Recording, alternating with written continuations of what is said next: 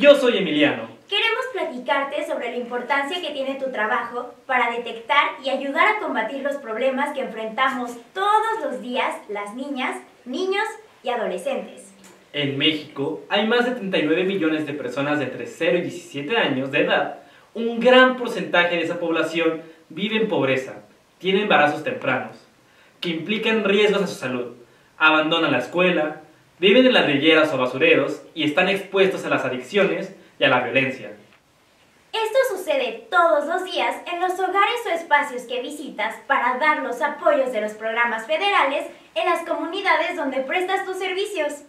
Por eso, el gobierno de la República está impulsando una ruta de acción en la cual la persona más importante para operarla eres tú, al detectar los casos e informarla a tus superiores y autoridades competentes, para que a través de las delegaciones federales se tomen decisiones para cambiar nuestra realidad y la realidad de millones de niños, niñas y adolescentes.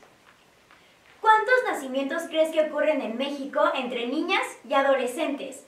Tan solo en 2015, del total de nacimientos, el 9% de ellos, o sea, más de 185 mil bebés, nacieron de madres menores de 18 años. Y lo que es más triste, muchos de esos nacimientos ocurrieron entre niñas de tan solo 10 y 14 años. Si eres personal de los servicios de salud, tú puedes ayudar a evitar más embarazos de niñas y adolescentes con los siguientes pasos.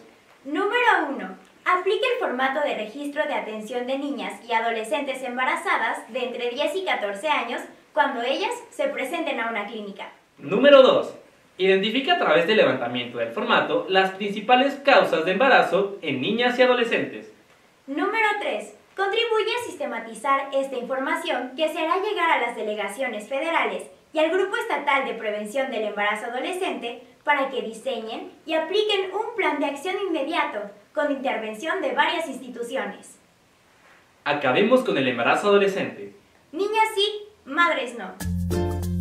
Atajos por un más corto hacia la garantía De nuestros derechos.